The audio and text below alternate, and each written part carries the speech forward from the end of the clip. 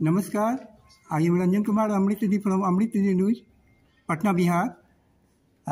You are welcome in Chandragupta institute of management Patna and the holy land of Pataliputra introduce kind introduce yourself hi my name is Alok Adhikari I am from South Asia trust South Asia trust we run from South Asia which is documentary film festival that start in nineteen ninety seven Uh, the whole goal of Film South Asia is to bring out and screen documentaries made in and about South Asia.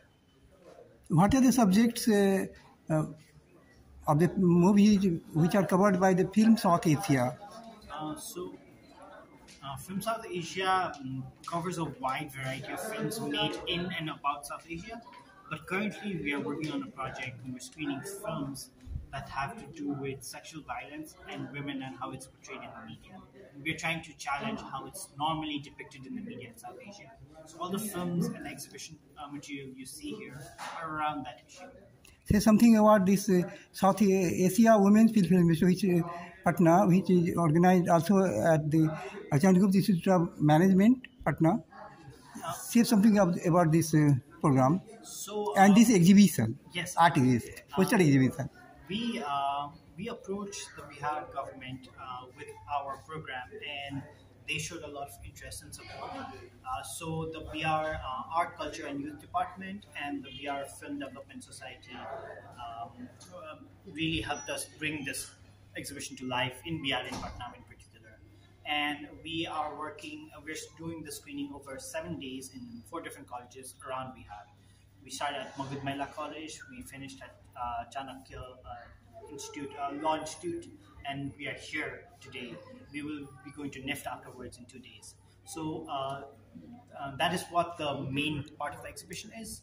And uh, this art exhibition in particular is also part of um, this exhibition where we're trying to challenge how women and sexual violence are particularly depicted in media.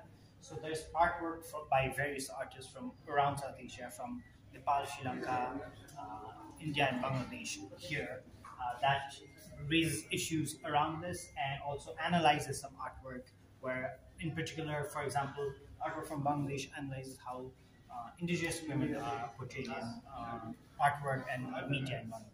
Is this exhibition first time in um, Patna or in India? Uh, this is the first time in Patna.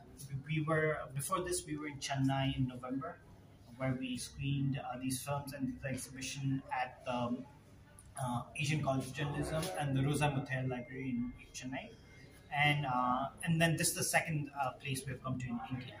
Say something uh, about these these paintings and posters uh, briefly.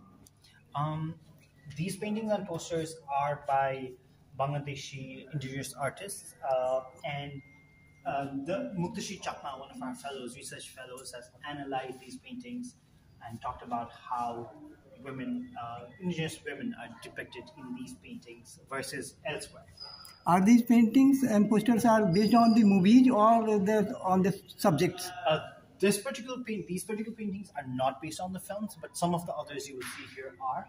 Uh, the, the paintings here, for example, are done by an artist named Paki Sen, and it was done for the film The City That Spoke to Me. So these are frames from uh, film that you will see in the film, and they're animated in the film. And the, the film is about uh, a deaf person and a coda, a child of deaf adult, and it's about two young women in Delhi.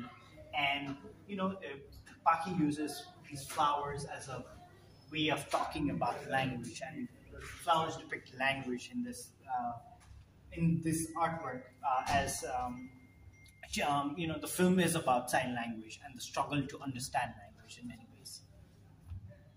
This Um, similarly, in our really attempt to really challenge how sexual violence is depicted in the media, um, we wanted to change the typical image you see when there's news about sexual violence or rape in, in newspapers. You know, it might be a woman crying or like hiding in a room or things like that, and we wanted to change that. So these images are, are an attempt. This is a, these are by uh, 12 uh, Nepali artists, and these are going to be available for free online as stock images later on that any media company can use in South Asia when they write news about sexual violence or women empowerment and things like that. Very good. Uh, uh, this is again similar uh, artwork by um, from Bangladesh uh, by Muktashi, uh, by artist and analyzed by our fellow researcher Muktashi Chakma. And this last bit is from Sri Lanka. a congress to all artists of this exhibition from Amrit News Patna and uh, also congrats to you and your team Thank you very much. for this exhibition and this uh, film festival. Thank you very much. I am one point, one question. What's your message for the younger generation for the protection of women and children rights in the society?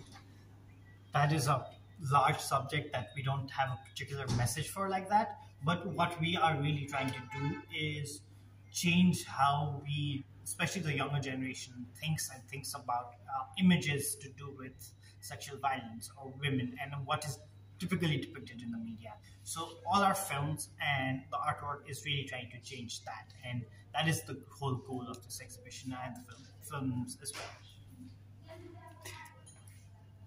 United, we can protect children and women's rights for a happy world.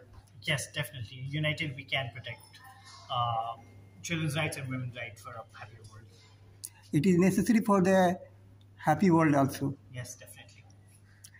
Thank you. Thank you very much.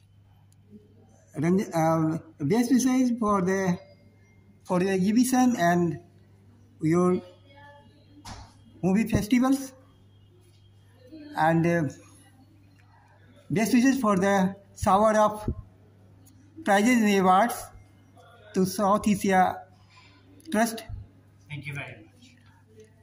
Thank you, Ranjan Kumar Amrit ji, Amrit News, Patna Bihar. Namaskar.